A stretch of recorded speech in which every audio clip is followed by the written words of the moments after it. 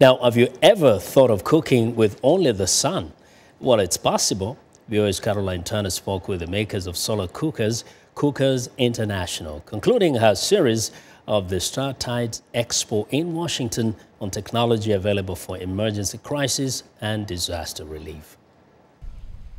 Natural resources are being consumed at a faster rate than at any time in history. Almost 3 billion people still cook their daily food over open fires.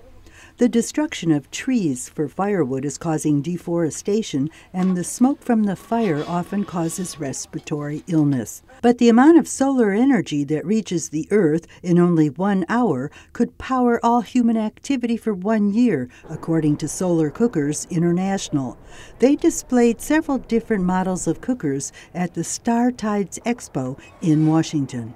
Good thing with this sun is it's free. There's no carbon dioxide there's no pollution. You can cook food or and leave it it come back. It's like a slow, slow cooker.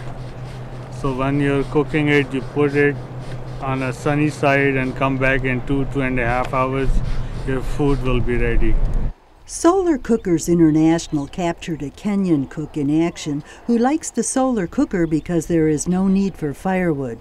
Because she likes it very much. She doesn't have to look for Eh, fire. When it's shining like this, she just sits down. She, uh, even when she's going to the garden, her food is there cooking. When she comes back, the children eat. ahero kendo nana She loves it very kendo much. berna mathoth She likes it very much. amor She's very happy.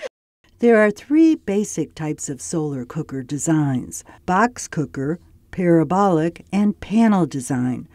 Box cookers can reach degrees of 350 Fahrenheit or 177 Celsius. They can be left unattended for hours.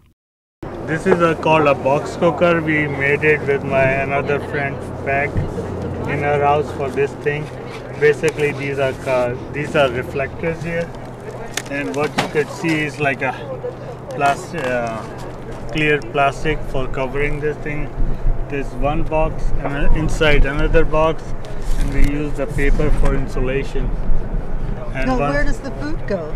food comes in here Oh. The parabolic transfers sunlight like a magnifying glass on the bottom of the cooking pot or piece of meat, instantly reaching combustion temperatures. Although the focal point under the pot is as hot as an open fire, the curved reflector doesn't get hot. Current models are large and expensive and cannot be left unattended. This is a parabolic cooker. It's based on like a parabolic equation. It has a focal point, uh, which is in the between here. So you put your food here and face this thing towards the sun. The sun lights are reflected underneath the pot, and it's like a, you can boil. And this is much faster way of cooking it. The solar panel cooker called CooKit was developed in the 1990s to help with Africa's refugee crisis. It comes folded flat for easy storage and can cook a 3 liter pot of beans, rice, or meat in 1 to 4 hours using only the sun. These inexpensive solar cookers were distributed by relief agencies and used during the day at refugee camps. Refugees were able to cook stew and boil water for tea in these cardboard and aluminum solar cookers. According to Solar Cookers International, if solar cookers were widely in use, it would be possible for millions of families to save their scarce fuel and avoid inhaling smoke during the cooking process. Carolyn Turner, VOA News. We want to know what you think about Africa 54 and the stories we cover. Join the conversation on Facebook. The address is Africa 54. Check out our headlines 24 7 on voaafrica.com.